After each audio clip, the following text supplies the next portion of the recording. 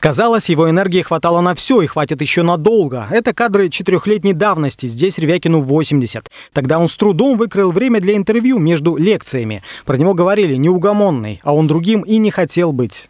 Наверное, я был бы записан в разряд пассионариев, которым не сидится на месте, которые страшно неуживчивы, которые скандалят, куда-то чего-то им надо, Родился в Алтайском районе Алтайского края, учился в Томском университете, в начале 80-х вернулся на Алтай, где занялся созданием географического факультета АЛТГУ. Фактически был одним из тех, кто основал географическое образование в регионе.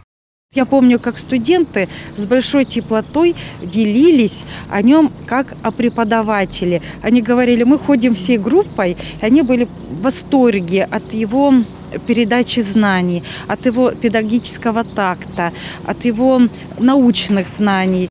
Огромное научное наследие, сотни статей, книги, атласы, учебники, в том числе школьные, по географии Алтайского края. Кроме того, работал журналистом на ТВ, даже в кино успел сняться.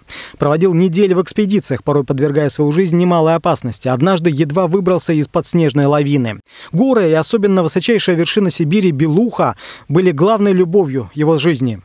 За ним закрепилось э, такое почетное звание «Хранитель Белухи». И на самом деле он был э, трепетным ее стражем, всем сердцем был предан горам. Он изучал ледники Алтая и Саян, то же время он яростно защищал интересы людей, населяющих Алтай, протестовал против постройки Катунской ГЭС. Она, по его мнению, могла буквально убить экосистему алтайских рек. Или занимался проблемой мусорных полигонов в Барнауле несколько лет назад. Буквально на днях делился с коллегами ближайшими планами. Конференции, чтения, лекции.